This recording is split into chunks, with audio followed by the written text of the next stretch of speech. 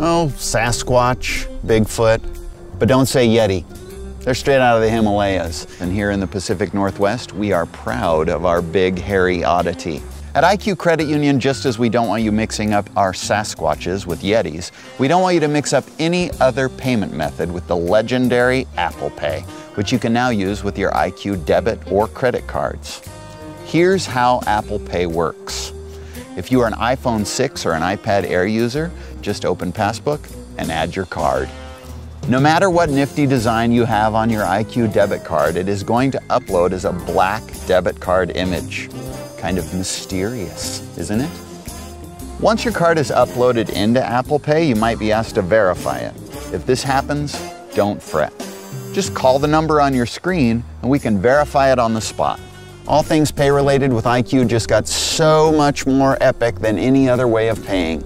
So, don't be a Yeti about this. Welcome to Apple Pay and the Squatch Watch, my friends. IQ Credit Union, a Northwest legend.